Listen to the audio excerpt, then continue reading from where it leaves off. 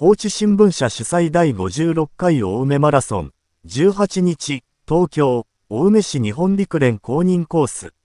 30キロの部に約1万2500人、10キロの部に約3500人が参加して行われた。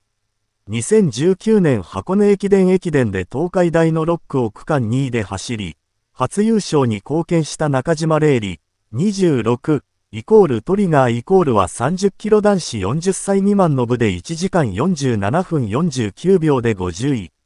名城王時代に全日本大学女子駅伝で4年連続優勝した経験を持ち、昨年、中島玲里と結婚した中島、旧姓、高松、智美無線美、23、イコール兵庫立教イコールは、10キロ女子40歳未満の部で36分54秒で8位だった。スタート時間は、10キロの部が午前9時30分で、30キロの部が午前11時30分と異なるため、レース前には中睦まじく互いをサポートした。箱根駅伝6区を3度出場したレイリは、起伏ある大梅のコースを中盤まで順調に走っていたが、24キロで左ふくらはぎを釣りました、と苦笑いしながら30キロの長丁場を振り返った。ともみ無線日は、今日は、ほぼ予定通りのタイムでした、とにこやかに話した。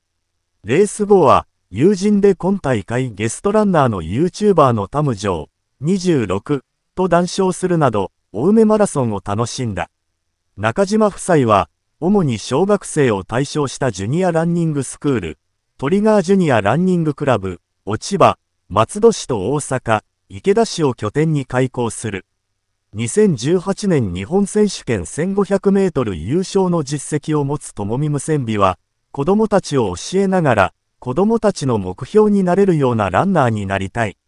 もう一度、日本選手権に出場できるくらいのレベルを目指します、と意欲的に話した。